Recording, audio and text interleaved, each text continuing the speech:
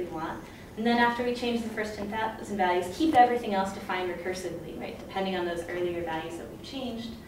Um, and as long as we're looking for large enough values of n, the two things that we are sort of following throughout this talk, certain residue classes being zero, certain residue classes being non-zero, that's still going to hold for large enough values of n.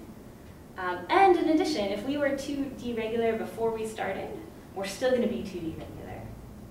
So um, these properties are fairly robust, right? We can sort of mess with them at the beginning, and they're still going to reassert themselves. Turns out, this is something that's really useful as we start to look at subtracting other numbers.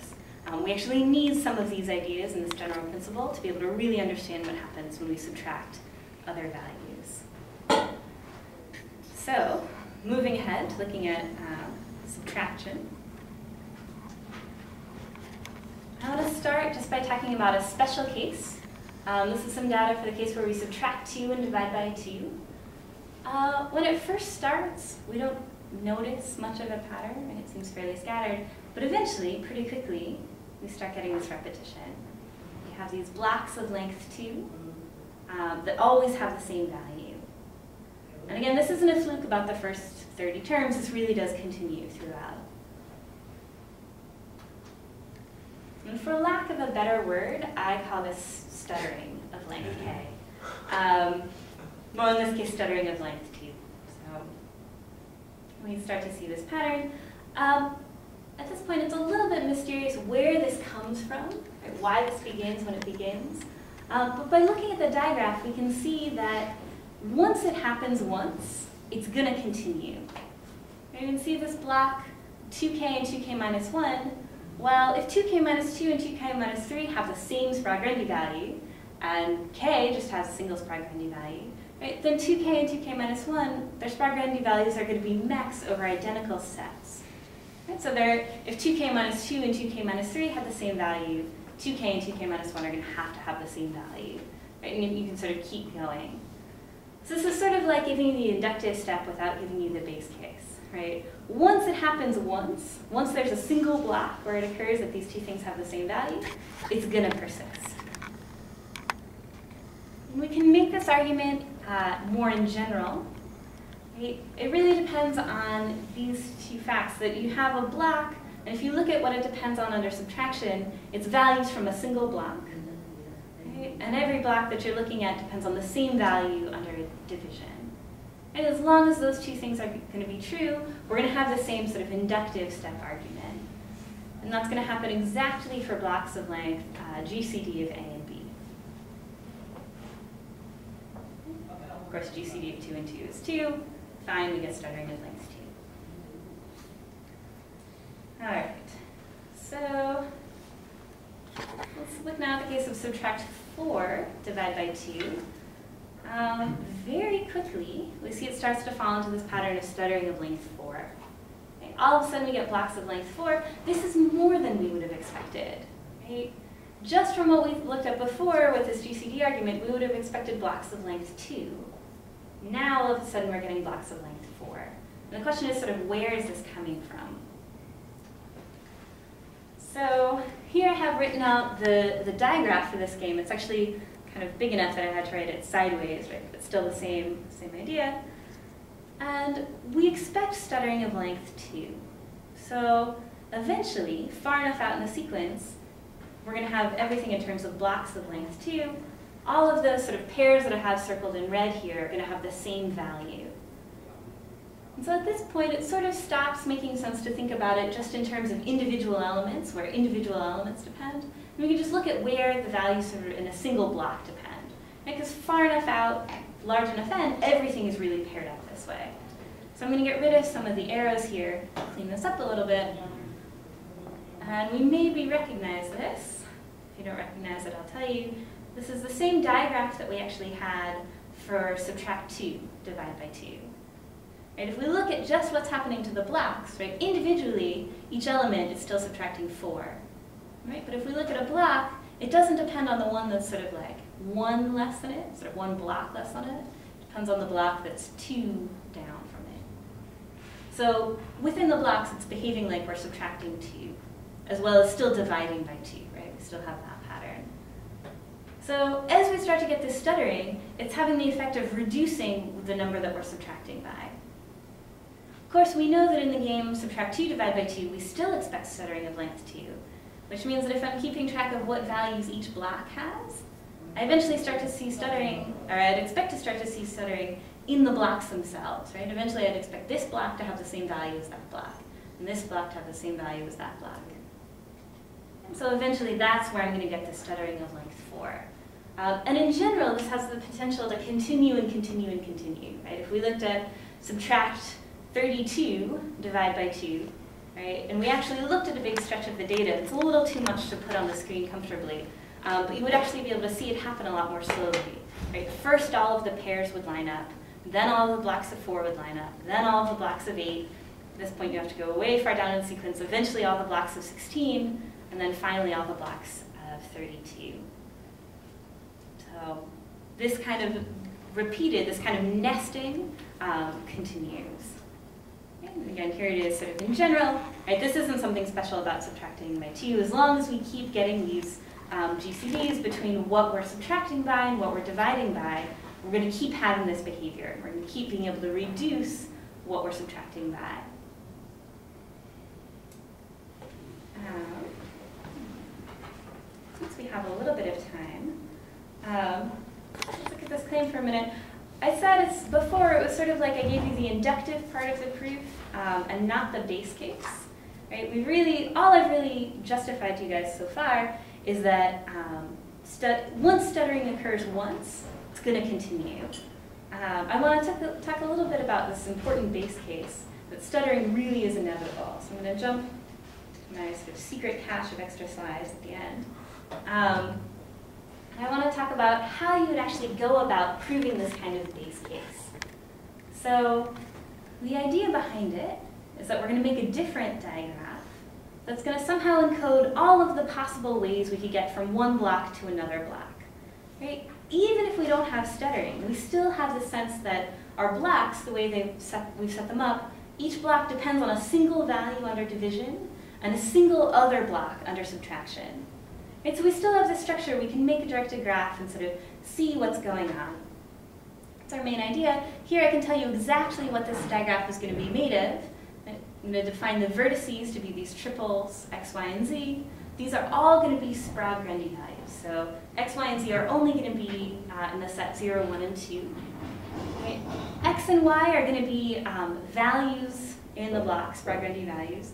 Um, this is sort of where we're going to see, are we getting the stuttering? Are x and y the same, or are they different?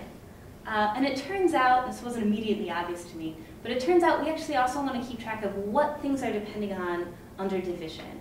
So you also want to have this third term z kind of hanging along. And from there, we're able to put in these edges. Right? Knowing x, knowing y, and knowing z, we can get to three other triples. Right? The next block is going to be, well, the first term is going to be the mex of x and z, and the second term is going to be the mex of y and z, because it depends on x and y via subtraction, z via division. Um, and then in this digraph, uh, I'm sort of saying that we don't have any control over sort of what's going on in a different part of the sequence, right? Whatever, whatever z was, it had something that came sort of before or after it, may or may not be related to what's going on there. There's still a fairly limited number of vertices and edges. And one of the neat things about this graph, by the way, is that it's fairly small, right? I'm looking at triples in 0, 1, 2. So I only have 27 vertices. Right? So you really can kind of look at this thing, uh, write it all down, get a sense of it.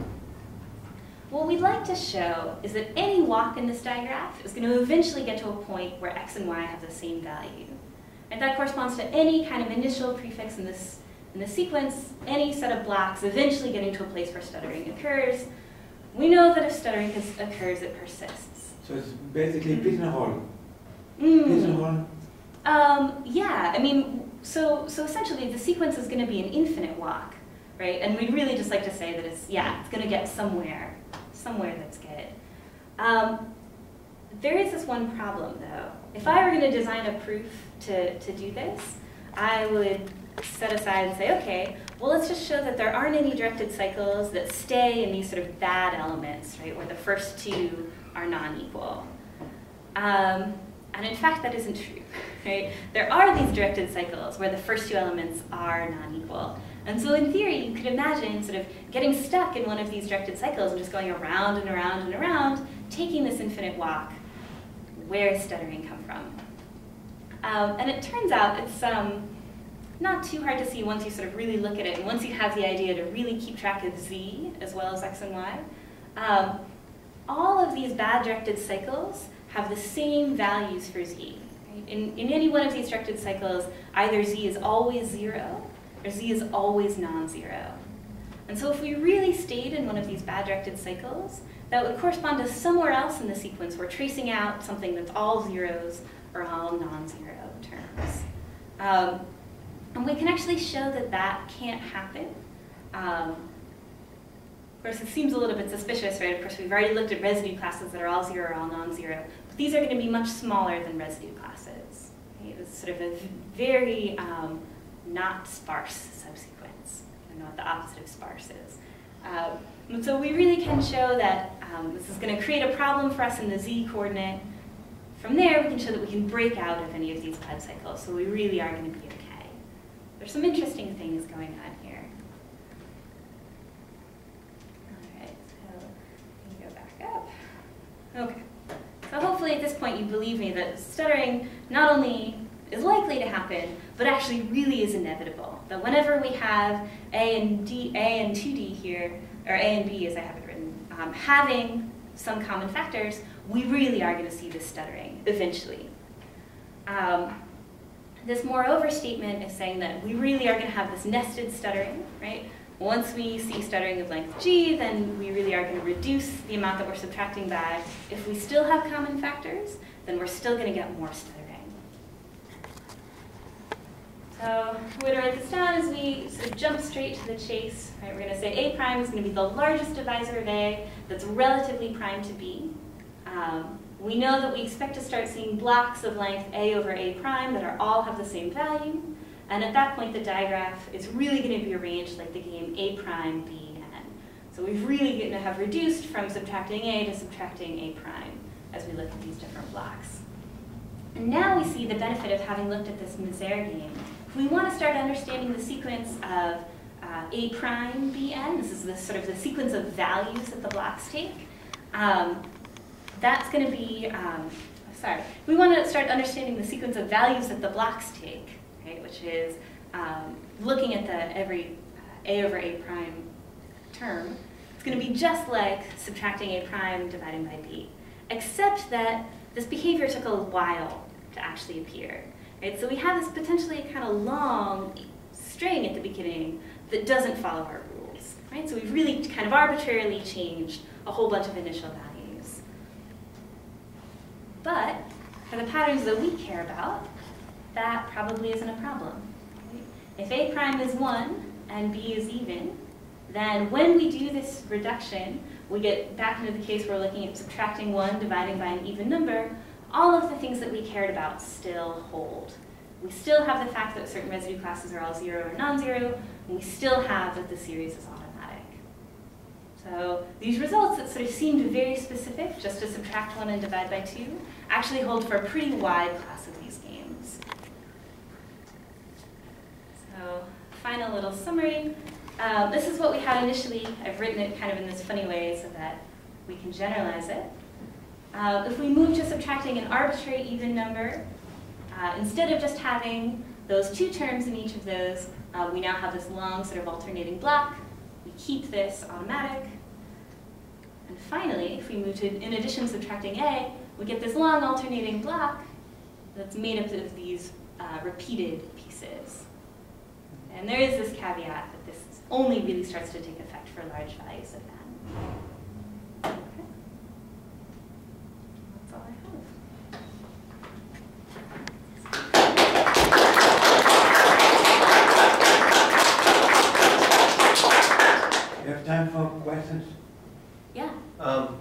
structure that holds eventually when n's big enough, it, mm. you know, it reduces.